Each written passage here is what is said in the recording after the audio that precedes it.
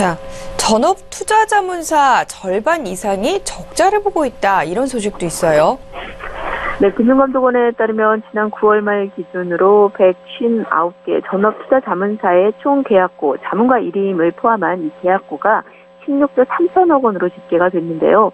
전업 투자 자문사의 전체 계약고가 크게 줄면서 어, 88곳, 즉 절반 이상이 적자를 보고 있는 것으로 나타났습니다.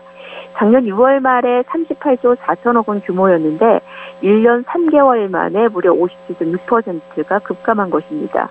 이처럼 전업 투자 자문사가 적자를 보고 있는 이유는 기관 투자자들이 자체 투자 역량을 확충을 하면서 전업 투자 자문사의 일감이 줄었기 때문인데요. 금감원은 전업 투자 자문사의 재무와 손익 상황을 지속적으로 모니터링 하겠다는 방침입니다.